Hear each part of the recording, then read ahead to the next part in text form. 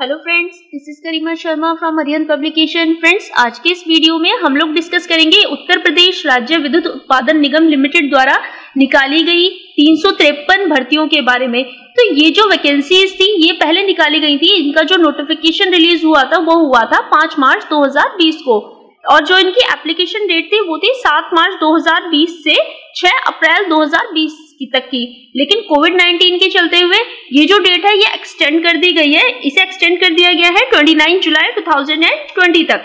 तो जो भी कैंडिडेट्स उस समय अप्लाई नहीं करवा कर पाए थे, किसी भी कारणवश, वो क्या कर सकते हैं? आज अप्लाई कर सकते हैं। 29 जुलाई तक का टाइम है आपके पास। जो भी इंटरेस्टेड कैंडिडेट्स हैं और जो एलिजिबल हैं, जिस भी पोस्ट के लिए, वो अप्लाई कर सकते हैं। तो किस तरीके से आपको अप्लाई करना है? कौन कौन सी पोस्ट के लिए वैकेंसी है?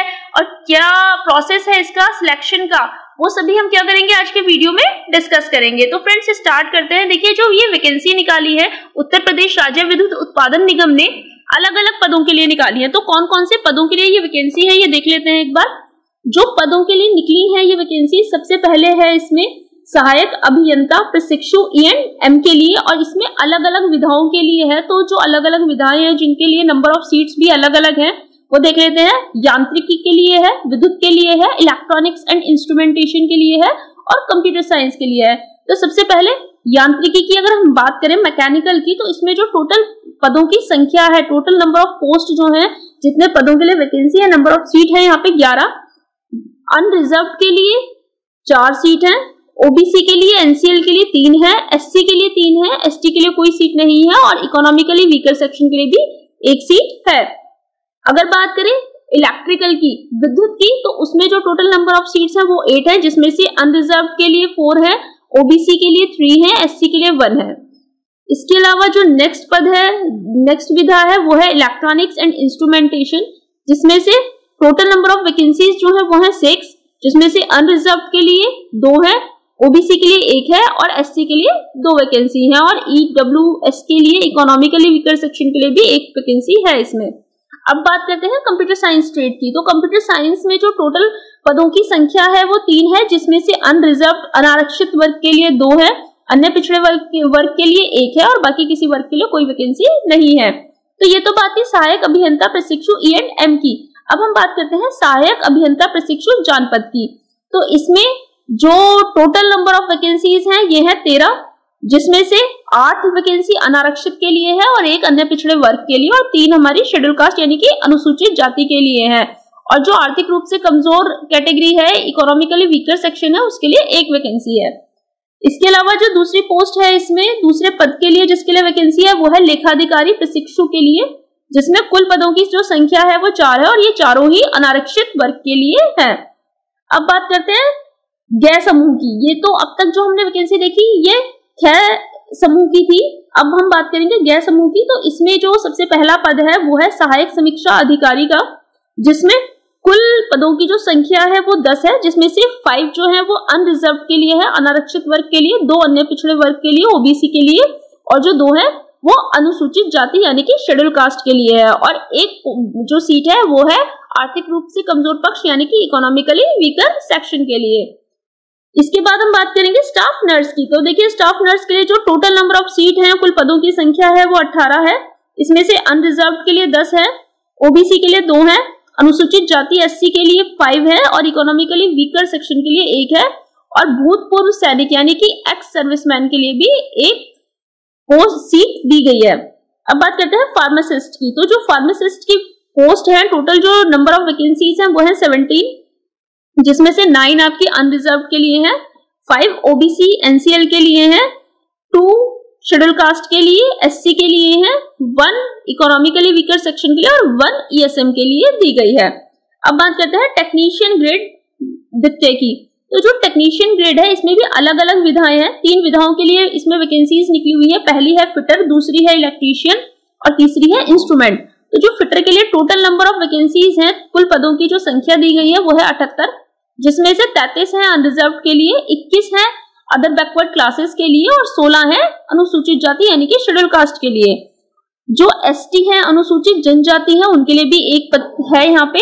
और इकोनॉमी इकोनॉमिकली वीकर सेक्शन के लिए सेवन सीट्स हैं और ईएसएम के लिए तीन सीट है और इसी के साथ डीएफएफ यानी कि जो स्वतंत्रता संग्राम सेनानी के आश्रित हैं, उनके लिए भी एक सीट दी गई है। अब जो सेकंड ट्रेड है इसका, दूसरी जो विधा है वो है इलेक्ट्रीशियन इसमें जो टोटल नंबर ऑफ़ वैकेंसीज हैं वो है 139 जिसमें से 58 यानी कि अट्ठावन है अनरिजर्व के लिए, सैतीस है अन्य पिछड़े वर्ग के लिए ओबीसी के लिए, उनतीस है अनुसूचित जाति शेड्यूल कास्ट के लिए, दो सीट दी गई है यहाँ पे अनुसूचित जनजाति के लिए, यानी कि एसटी के लिए, और तेरह सीट दी गई है यहाँ पे इकोनॉमिकली वीकर सेक्शन यानी कि आर्थिक रूप से कमज़ोर वर्ग के लिए। ईएसएम e के लिए भी यहाँ पे छह सीट है और डीएफएफ के लिए भी दो सीट्स रखी गई हैं। अब जो सबसे लास्ट पद बचता है, वो है इंस्ट्रूमेंट विधा के लिए। इसमें जो कुल पदों की संख्या है, वो है 46 जिसमें से अनरिजर्व के लिए है 21 ओबीसी के लिए 12 है, अनुसूचित जाति एससी के लिए 9 है, अनुसूचित जनजाति के लिए कोई भी पद नहीं रखा गया है इसमें इकोनॉमिकली वीकर सेक्शन के लिए भी चार है और ईएसएम e के लिए भी दो पद दिए गए हैं। तो देखिए जो पदों की संख्या है, ये उत्तर प्रदेश राज्य विद्युत निगम अपने आवश्यकता अनुसार घटा या बढ़ा भी सकता है।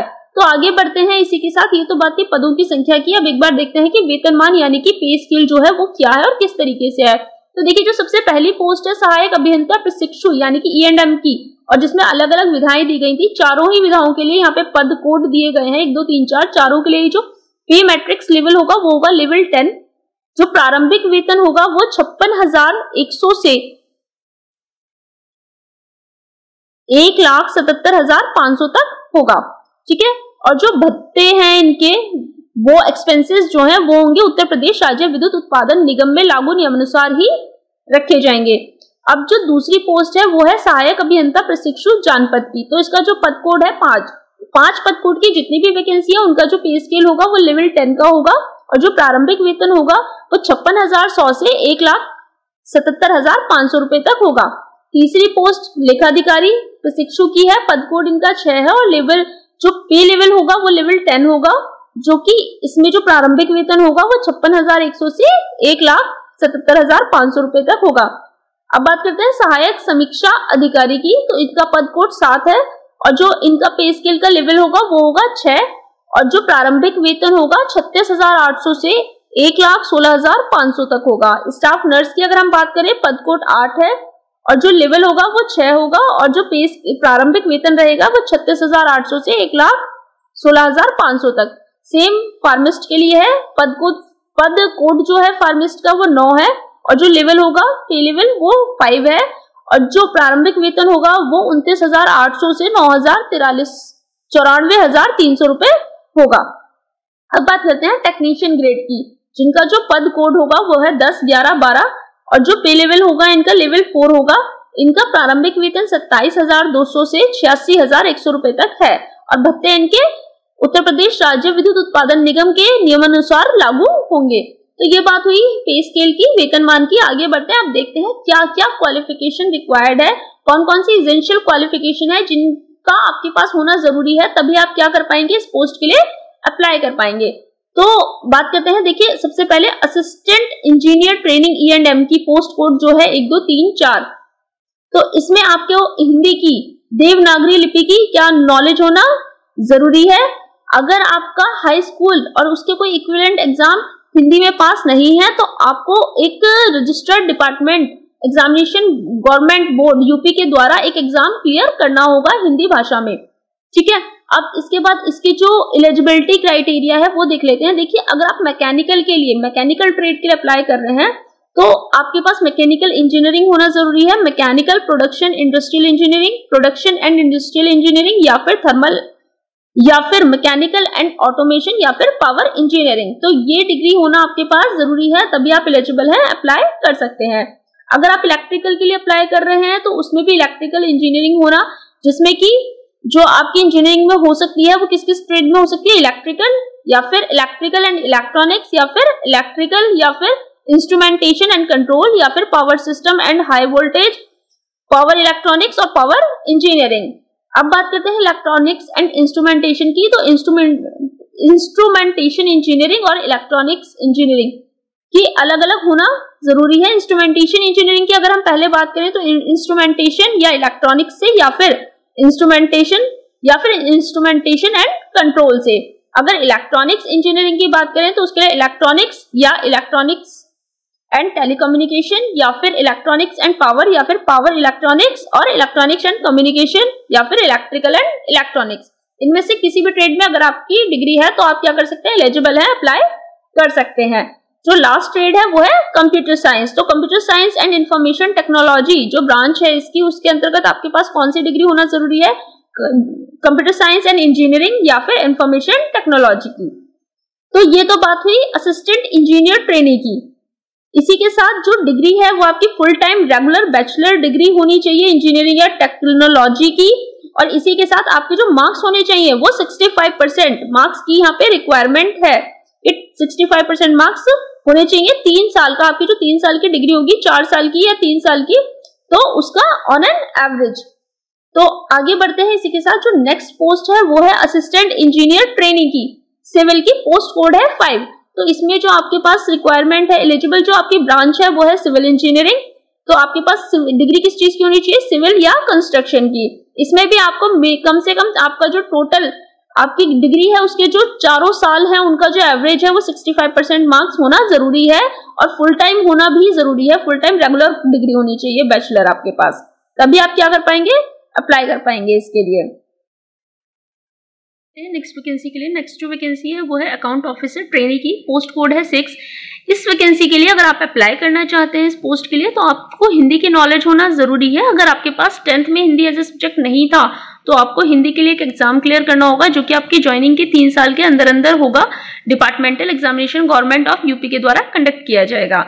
इसके अलावा आपके पास पोस्ट ग्रेजुएशन डिग्री जिसमें कम से कम आपके मिनिमम 55 परसेंट मार्क्स हो ग्रेजुएशन डिग्री जिसमें कम से कम आपके फ़र्स्ट क्लास से पास होना ज़रूरी है, यानी कि 60 परसेंट मार्क्स होना ज़रूरी है। और ये उस यूनिवर्सिटी से होना चाहिए जो या तो यूपी में स्टैब्लिश हो या फिर यूपी गवर्नमेंट के थ्रू रिकॉग्नाइज हो या फिर किसी स्टेट या सेंट्रल लेजिस्लेचर के थ्रू अप्रूव्ड हो या फिर यूजीसी या फिर ए आई सी सी ए आई सी टी ई के थ्रू अप्रूव्ड हो।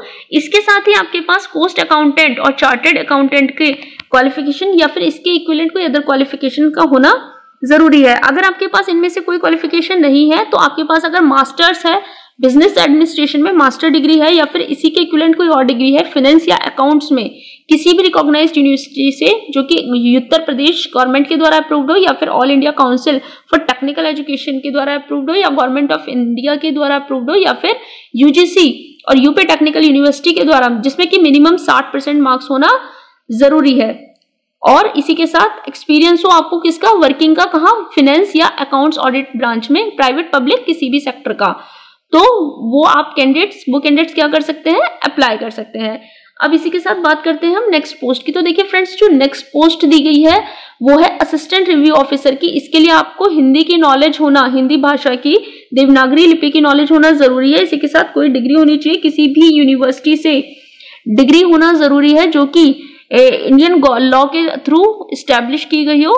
और इसी के इक्विलेंट कोई अदर क्वालिफिकेशन भी जो किसी स्टेट गवर्नमेंट से रिकॉग्नाइज्ड यूनिवर्सिटी हो, उसके थ्रू अगर आपने किया है तो भी आप क्या कर सकते हैं अप्लाई कर सकते हैं। इसी के साथ टाइपिंग स्पीड आपकी 20 टू 25 वर्ड्स पर मिनट होना ज़रूरी है, हिंदी और इंग्लिश दोनों में। इसी के साथ कंप्यूटर नॉलेज होना भी ज़रूरी है कि आपको अच्छा एक्सपीरियंस होना चाहिए किसका? कंप्यूटर वर्किंग का। और इसी के साथ अगर किसी कैंडिडेट को एचआर का, किसी भी गवर्नमेंट इंस्टीट्यूशन का एक्सपीरियंस है एज एन एच तो उसे यहाँ पे प्रेफरेंस अलग से दिया जाएगा। और देखिए डिस्टेंस लर्निंग एजुकेशन को यहाँ कोई भी वैल्यू नहीं दी गई है। तो जो अगर किसी कैंडिडेट ने डिस्टेंस लर्निंग के थ्रू कोई भी डिग्री ली है तो वो यहाँ पे क्या है? एलिजिबल नहीं है।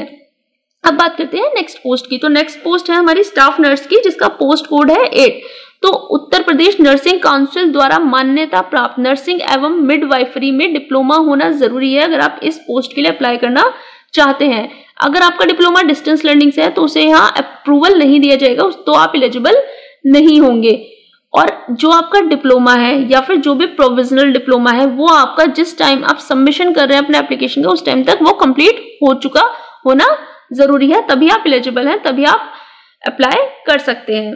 अब जो नेक्स्ट पोस्ट है, वो है फार्मासिस्ट की। तो फार्मासिस्ट की तो देखिए, जो पोस्ट है पोस्ट कोड है नाइन इसमें भी फार्मासिस्ट का डिप्लोमा उत्तर प्रदेश शासन द्वारा मान्यता प्राप्त संस्थान से होना ज़रूरी है या फिर जहाँ से भी आप कर रहे हैं, वो उत्तर प्रदेश फार्मेसी काउंसिल से पंजीकृत होना यानी रजिस्टर्ड होना ज़रूरी है। और डिस्टेंस लर्निंग की यहाँ पे एलिजिबिलिटी नहीं है। अगर आपने डिस्टेंस लर्निंग से किया है तो आप एलिजिबल नहीं है।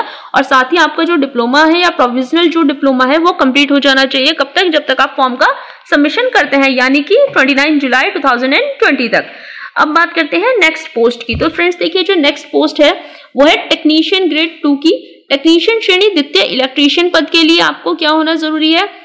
माध्यमिक शिक्षा परिषद उत्तर प्रदेश की हाई स्कूल विज्ञान एवं गणित विषय के साथ ही या उसके समकक्ष कोई परीक्षा आपने उत्तीर्ण की हो, तथा इलेक्ट्रीशियन ट्रेड में अखिल भारतीय राज्य व्यवसायिक प्रमाण पत्र डोएक वर्तमान में एनआईईएलआईटी के द्वारा 80 घंटों के कोर्स ऑन कंप्यूटर कंसेप्ट होना ज़रूरी है तो भी आप क्या कर सकते हैं अप्लाई कर सकते हैं। अब हम बात करते हैं फिटर पद के लिए। तो देखिए, फिटर पद के लिए क्या करना है आपको? माध्यमिक शिक्षा परिषद उत्तर प्रदेश के हाई स्कूल विज्ञान एवं गणित विषय के साथ या इसके समकक्ष कोई परीक्षा आपकी उत्तीर्ण होना ज़रूरी है। और फिटर ट्रेड में अखिल भारतीय राज्य व्यवसायिक प्रमाण पत्र होना ज़रूरी है। और डोएक वर्तमान में जिसे एनआईईएलआईटी कहते हैं, इसके द्वारा प्रदत्त 80 घंटे का जो कोर्स है आपका कंप्यूटर ट्रिपल सी का, computer course on computer concept, इसका प्रमाण पत्र होना भी ज़रूरी है। अगर हम बात करें इंस्ट्रूमेंट की टेक्नीशियन श्रेणी के द्वितीय पद की इंस्ट्रूमेंट में तो उसके लिए भी आपके पास माध्यमिक शिक्षा परिषद उत्तर प्रदेश द्वारा हाई स्कूल विज्ञान एवं गणित विषय के साथ या इसके समकक्ष कोई भी परीक्षा उत्तीर्ण होना ज़रूरी है। और इसी के साथ इंस्ट्रूमेंट या इलेक्ट्रॉनिक्स ट्रेड में अखिल भारतीय राज्य व्यवसायिक प्रमाण पत्र और डो एक जिसे वर्तमान में एन कहते हैं, उसका 80 घंटे का ट्रिपल सी का प्रमाण पत्र होना भी ज़रूरी है।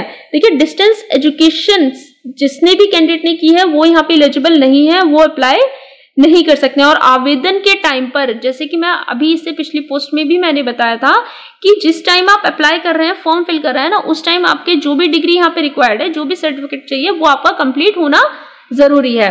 तो फ्रेंड्स ये तो बात थी वैकेंसीज के लिए क्या क्या एजेंशियल क्वालिफिकेशन है जो आपको चाहिए। अब बात करते हैं एज लिमिट की। तो देखिए, जो आयु है आयु की जो गणना है आपकी एक जनवरी 2020 तक से की जाएगी।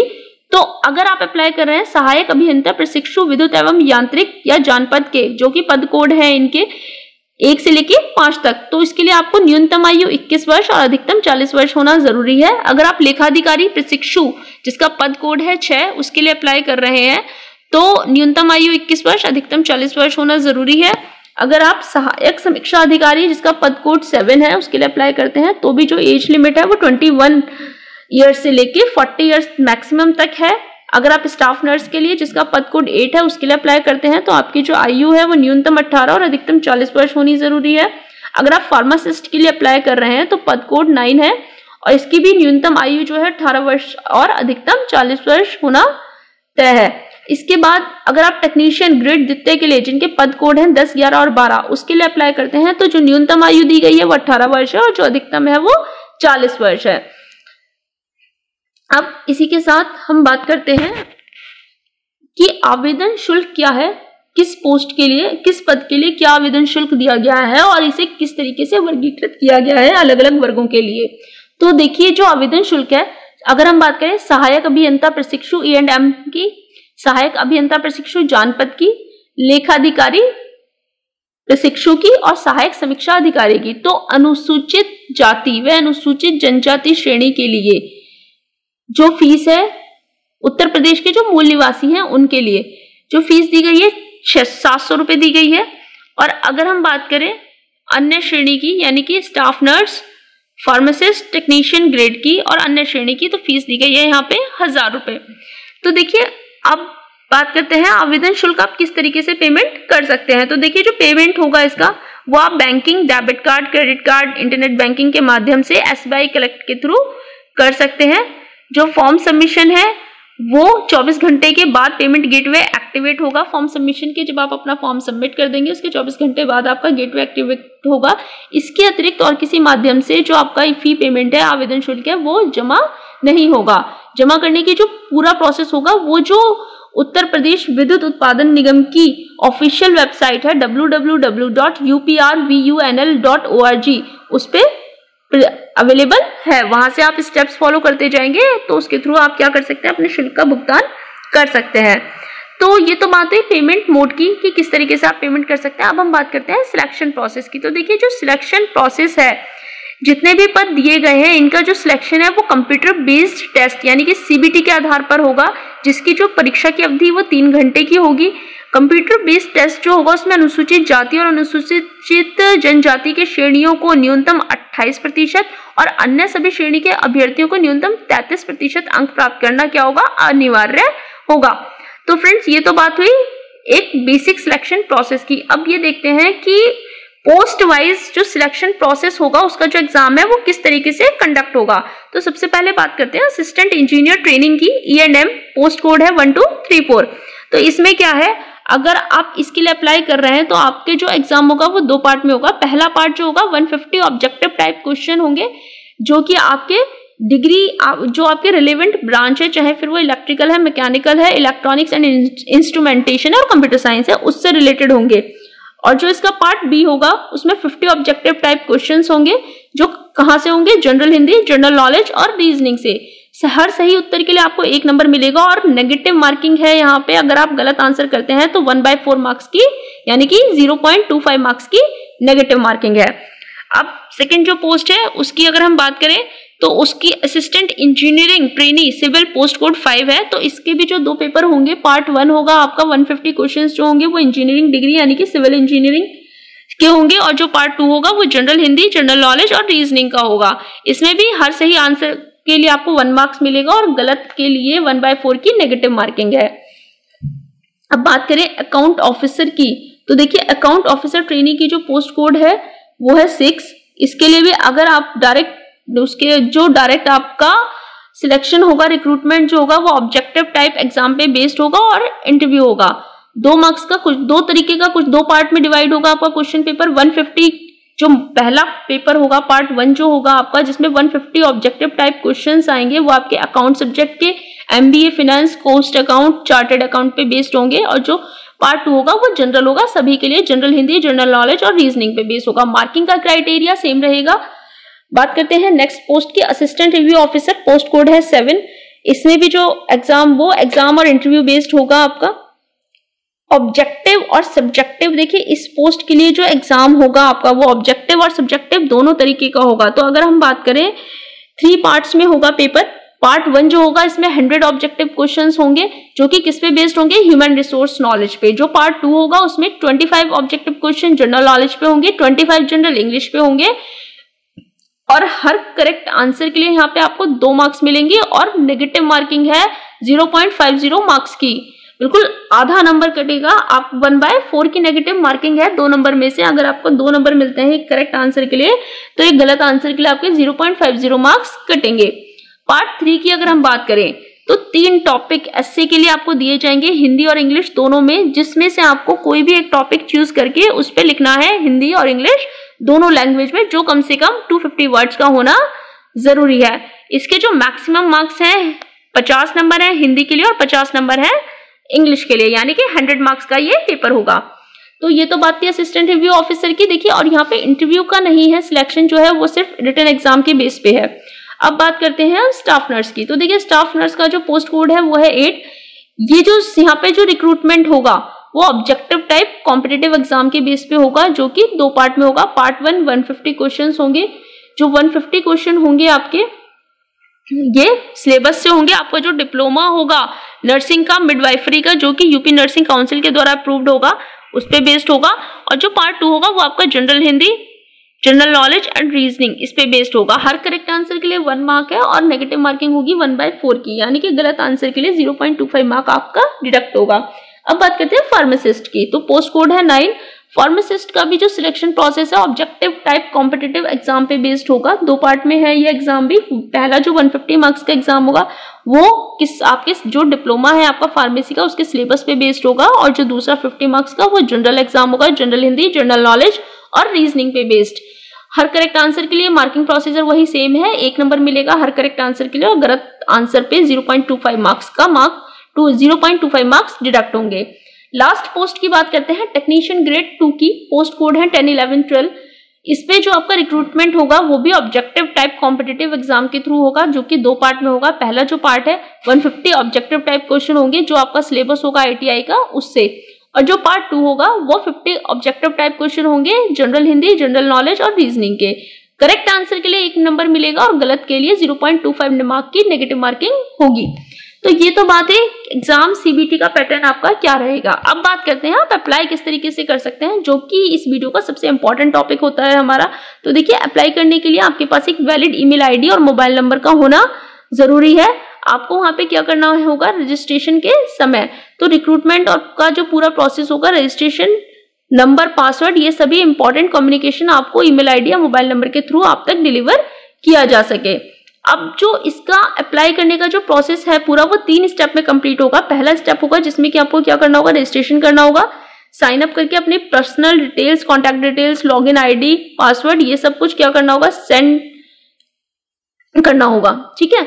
ये सब आप यहाँ पे रजिस्ट्रेशन करते हुए फॉर्म में फिल करेंगे। जो दूसरा स्टेप होगा, वहाँ पे आपको क्या करना होगा? Log in to complete the personal details qualification detail and declaration log in करके जितनी भी आपकी डिटेल्स हैं, वो सभी आपको क्या करनी होगी वहाँ पे? कंप्लीट करनी होगी। और जो थर्ड स्टेप होगा the payment of application fee after 24 four hours through online mode where debit card credit card और internet banking through state bank collect system of state bank of India यानी कि payment आपका जो payment का procedure होगा, जब आप application कर देंगे, उसके 24 घंटे के बाद आप क्या कर सकते हैं? पेमेंट कर सकते हैं। ऑनलाइन किसी भी ऑनलाइन माध्यम से, चाहे फिर आप डेबिट कार्ड से करें क्रेडिट कार्ड से करें, या फिर इंटरनेट बैंकिंग से करें, जो किसके थ्रू होगा? स्टेट बैंक कलेक्ट सिस्टम, जो कि स्टेट बैंक ऑफ़ इंडिया का प्रोसेस है उसके द्वारा। तो अब हम बात करते हैं स्टेप वन की। तो देखिए, जो स्टेप वन है, सबसे पहले आपको क्या करना होगा? जो भी टर्म्स एंड कंडीशन है वहाँ पे, उन्हें ओके करके आई एग्री पे आप क्लिक करेंगे। उसके बाद आपका फॉर्म जो है, वो फिल करना है आपको, जिसमें आपको अपनी पर्सनल डिटेल कॉन्टैक्ट डिटेल्स भरनी है। ये डिटेल्स भरने के बाद आपको आपके रजिस्टर्ड ईमेल आईडी पे एक क्या होगा मैसेज रिसीव हो जाएगा। उसके बाद बात करेंगे स्टेप टू की। अब आप, जब आपका रजिस्ट्रेशन हो गया तब आपको वहाँ क्या करना होगा? दोबारा से लॉगिन करना होगा। लॉगिन करने के बाद आपकी जो भी बाकी की डिटेल्स होंगी वो वहाँ आपको फिल करने के साथ ही आपको अपनी फोटोग्राफ की इमेज सिग्नेचर की इमेज और सेल्फ अटेस्टेड सर्टिफिकेट की इमेज जो होगी वो अपलोड करनी होगी। तो देखिए फोटोग्राफ जो होगा आपका वो recent passport size coloured photograph होगा। ठीक है? और जो साइज़ होगा इसका 20 केबी से 50 केबी तक जेपीईजी या फिर जेपीजी फॉर्मेट में होना ज़रूरी है। जो सिग्नेचर होंगे वो आपके व्हाइट पेपर पर ब्लैक इंक पेन से होने चाहिए और जो इसका साइज़ होगा 10 के से 20 केबी तक होना ज़रूरी है जेपीजी या जेपीईजी फॉर्मेट में। अब जो आपके सर्टिफिकेट्स हैं, जितने भी आपके एजेंशियल एकेडमिक क्वालिफिकेशन और मेट्रिकुलेशन सर्टिफिकेट होंगे, जिनमें आपकी डेट ऑफ़ बर्थ मेंशन हो और जो अदर रिलेवेंट डिटेल्स हैं, वो मेंशन हो। अगर आप किसी भी कैटेगरी के लिए अलग से अप्लाई कर रहे हैं रिज़र्व के रिजर्वेशन के लिए तो उसका भी यूपी डोमिसाइल सर्टिफिकेट आपको देना होगा। ठीक है, इनका जो साइज़ है, ये ट्वेंटी के से one hundred one thousand twenty four K B तक होना चाहिए, जो कि जेपीजी या फिर जेपीजी फॉर्मेट में हो। तो ये तो स्टेप सेकेंड था। अब हम बात करते हैं स्टेप थर्ड की। अब स्टेप थर्ड क्या होगा? आपको दोबारा से 24 फोर आवर्स के बाद जब आपका एक्टिवेट हो जाएगा क्लिंक आपको री इन करना होगा। क्लिक करेंगे आप मेक ऑनलाइन पेमेंट पे, जो कि एक्टिवेट कब होगा? 24 घंटे के फॉर्म सबमिशन के एप्लीकेशन सबमिशन के बाद। एक बार जब आपका S B collect of state bank of India का जो पोर्टल है, वो खुल जाएगा तो उसके बाद रिफ्रेश और बैक बटन पे क्लिक नहीं करिएगा, क्योंकि फिर वो बैक होने के बाद वो दोबारा नहीं वर्क करेगा। तो अब इसके बाद क्या, जो भी आपको वहाँ प्रोसेसर शो होगा, उस प्रोसेसर को जैसे जैसे आप फॉलो करते रहेंगे, आप उसके थ्रू क्या कर सकते हैं? ऑनलाइन पेमेंट कर सकते हैं। तो फ्रेंड्स ये तो प्रोसेस था। किस तरीके से आप अप्लाई करते हैं, किस तरीके से आप अप्लाई कर सकते हैं। ठीक है? अब देखिए दिन भी इसके कम बचे हैं। 29 जुलाई लास्ट डेट है। तब तक आपको अप्लाई करना है। तो जो भी कैंडिडेट्स अप्लाई नहीं कर पाए हैं उस टाइम पे, वो अप्लाई कर सकते हैं। आज के लिए फ्रेंड्स बस यहीं तक था। नेक्स्ट वीडियो में फिर मिलूँगी आपके साथ एक नई वैकेंसी के साथ। तब तक के लिए थैंक यू गुड बाय